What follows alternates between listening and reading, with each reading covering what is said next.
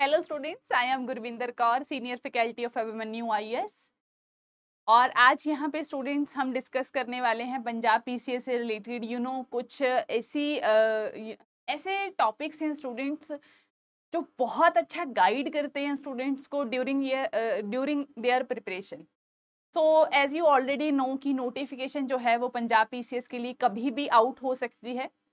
अगर आप previous trend देखोगे तो हर दो साल बाद नोटिफिकेशन आ रही है। इवन फाइनल भी हो चुका है, हर चीज़ जो है राइट right? सिर्फ़ और सिर्फ़ बस चेयरपर्सन की अपॉइंटमेंट की देरी है and after that notification out हो जाएगी for the PCS so let's discuss our new topic that is the यहाँ पे एक बहुत अच्छा क्वेश्चन है। यहाँ पे you know as a teacher as a mentor जब मैं स्टूडेंट्स को देखती हूँ तो मैं देखती हूँ कि 95 परसेंट स्टूडेंट्स जो हैं 75 परसेंट स्टूडेंट्स जो हैं, वो फेल हो जाते हैं। ठीक है? क्यों फेल हो जाते हैं? रीज़न इज़ क्या है? क्या रीज़न है उनके फेल हो जाने का? क्यों नहीं कर पाते वो एग्ज़ाम को क्रैक ठीक है? इसके बारे में हम यहाँ पे देखते हैं। तो क्यों फेल हो जाते हैं 75 परसेंट स्टूडेंट्स एग्ज़ाम के अंदर? राइट रीज़न क्या है? रीज़न क्या है? रीज़न बहुत सारे ठीक है, एक एन नंबर रीज़न नहीं है। एक तो रीज़न ये है स्टूडेंट्स पहला जो रीज़न मुझे समझ में आता है that is lack of strategy as we already discuss in you know एक लेक्चर में मैंने पहले भी आपसे ये बात की थी, ठीक है? स्ट्रेटजी की बहुत बड़ी कमी हो जाती। है स्ट्रेटजी नहीं बना पाते। दूसरा जो मुझे रीज़न समझ में आता है that is the planning planning नहीं कर पाते अच्छे से। थर्ड थिंग होती है गाइडेंस गाइडेंस तीन चीज़ें मेन होती हैं स्टूडेंट कॉम्पिटिटिव एग्ज़ाम के अंदर। पहला आपकी प्लानिंग आप कैसे प्लान कर रहे हो एग्ज़ाम को देने के लिए? मतलब आपने कब प्री शुरू करना है, कब मेंस शुरू करना है?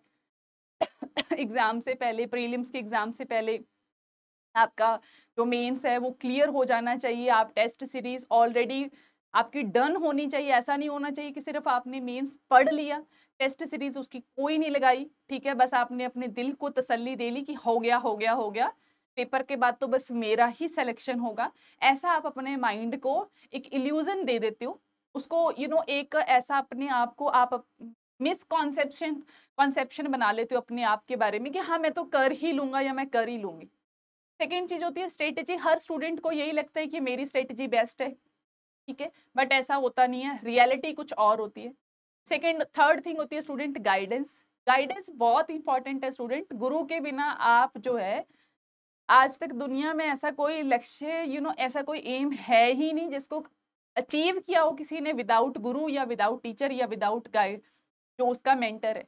किसी ना किसी की आपको हेल्प लगती है स्टूडेंट जिसका एक्सपीरियंस जिसका यू you नो know, जिसकी क्वालिफिकेशन जिसकी एजुकेशन आपके लिए यू you नो know, अमृत का काम करती है जो आपको गाइड करती है टाइम टू टाइम ठीक है, आपको मोटिवेट करती है टाइम टू टाइम और ये तीनों ही स्ट्रेटजीज जो तीनों ही वर्ड है स्टूडेंट वो आज के टाइम में स्टूडेंट जो फॉरमोस्ट रीजन है स्टूडेंट जो गलती करते हैं तीनों को लेकर, वो ये है कि वो अपनी स्ट्रेटजी प्लानिंग गाइडेंस प्लस जो आपका सिलेबस है, उसको वो कंप्लीट करते हैं यूट्यूब से. This is the biggest biggest you know mistake by students this is the biggest mistake by students ये आज की सबसे बड़ी बिगेस्ट मिस्टेक हो गई है जो स्टूडेंट्स हर रोज कर रहे हैं। आई डोंट नो कि मैं उनको कितनी बार समझाती हूँ कि आप ऐसा मत करो मत करो मत करो बट वो फिर किसी ना किसी ने इन्फ्लुएंस में आके वापस से उसमें वो कूद ही जाते हैं। या कितना मर्ज़ी निकालो, वो फिर कूद जाते हैं। प्रॉब्लम इज़ बीइंग कि स्टूडेंट्स को ये बात समझ में नहीं आ रही है कि जो यूट्यूब है, वो आपको नॉलेज दे सकते हैं।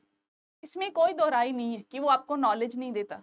अच्छे से अच्छे टीचर पढ़े हुए हैं राइट बेस्ट से बेस्ट कंटेंट पड़ा हुआ है। कई बार तो ऐसा भी होता है कि एग्ज़ाम आने से पहले ही कुछ फ्री जो है वो सीरीज़ लॉन्च कर दी जाती है किसी इंस्टीट्यूट के थ्रू तो एन नंबर ऑफ़ थिंग्स हैं।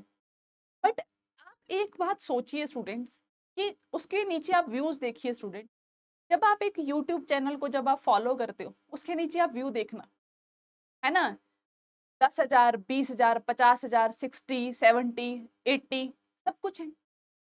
पर उस हिसाब से तो जो एट्टी एट्टी थाउज़ेंड स्टूडेंट ने देखा, अगर उसमें से आधे स्टूडेंट ने भी उसको सीरियसली देखा होता, उस हिसाब से तो स्टूडेंट्स आपका एग्ज़ाम क्लियर हो जाना चाहिए था उन फोर्टी थाउज़ेंड का, बट ऐसा हुआ तो नहीं। इस हिसाब से तो जिन्होंने free, you know free content डाल रहे हैं, उन सबका स्टूडेंट का सिलेक्शन हो जाना चाहिए था। अगर उसमें से आधे भी अगर सीरियसली देख रहे हैं तो सिलेक्शन क्यों नहीं हो रहा? क्यों नहीं हो रहा? क्योंकि स्टूडेंट ये समझ ही नहीं पा रहे हैं कि YouTube is only for the helping YouTube का जो पर्पज है that is the that is the help वो हेल्प में आपको प्रिपेयर मतलब यू नो हेल्प कर सकता है आपको प्रिपेयर करने के लिए। ठीक है, उसका एक हेल्पिंग नेचर है। कि वो आपकी हेल्प कर सकते हैं किसी कॉन्सेप्ट को समझने के लिए, किसी टॉपिक को समझने के लिए, कहीं पे आप अड़ गए, वहाँ पे आपको समझने की अदरवाइज़ अगर आप ऐसा सोच रहे हो कि मैं फुल प्रिपरेशन कर लूँगा यूट्यूब से, या मैं फुल गाइडेंस ले लूँगा यूट्यूब से, या मैं फुल प्लानिंग कर लूँगी यूट्यूब से, या मैं फुल स्ट्रेटजी बना लूँगी यूट्यूब देख के देन आप हंड्रेड नहीं टू हंड्रेड परसेंट आप गलत यू नो वे को चूज़ कर रहे हो, गलत रास्ते पे आप जा रहे हो, बस आपको पता नहीं है। पता स्टूडेंट, बस आपको एग्ज़ाम के बाद पता चलता है जब आपकी सिलेक्शन नहीं होती राइट right?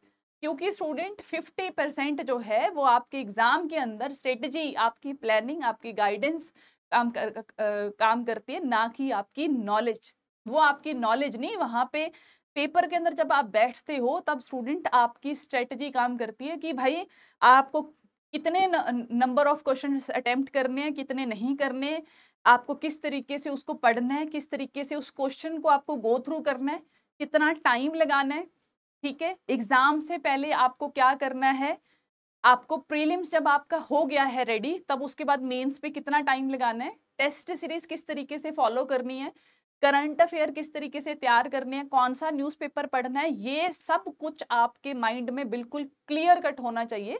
क्योंकि जो आपका रियल कॉम्पिटिटर है, जो आपको बीट करेगा एग्ज़ाम के अंदर, उसका ऑलरेडी ये सब कुछ क्लियर होगा, उसके माइंड में एकदम क्रिस्टल क्लियर होगा।